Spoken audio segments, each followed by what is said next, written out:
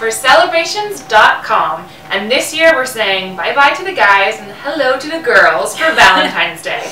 We are actually doing Galentine's Day this year. How Get cute is that? Yeah. So there's so many little tiny things that you can do to make your gallon Galentine's Day extra special, and we have them here for you. Yes. Well, first of all, I love this presentation that we have because everything involves pink and red. And It just makes you happy. It's so good. Yeah. So of course, for Galentine's Day, you have to have a cocktail. If you're having people over, you can make this even before they get there. Just like prep everything. It's so good. So what it is is Crémant d'Alsace, which is a brut from France. It's super fancy but reasonably priced. Um, so you've got your champagne and a little bit of what's called chambord, which is a raspberry liqueur. So So, first we poured in the raspberry liqueur, then we topped it with the brut, and then you toss in a couple of raspberries, and they keep it sparkling too, which I And love. it's still bubbling, and we Yeah. just made these a little while ago.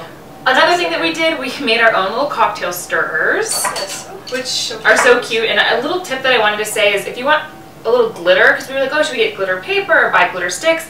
I just used the glitter nail polish that I already Which had. every gal probably has. Every gal, anyway. Yeah. If you don't, you should.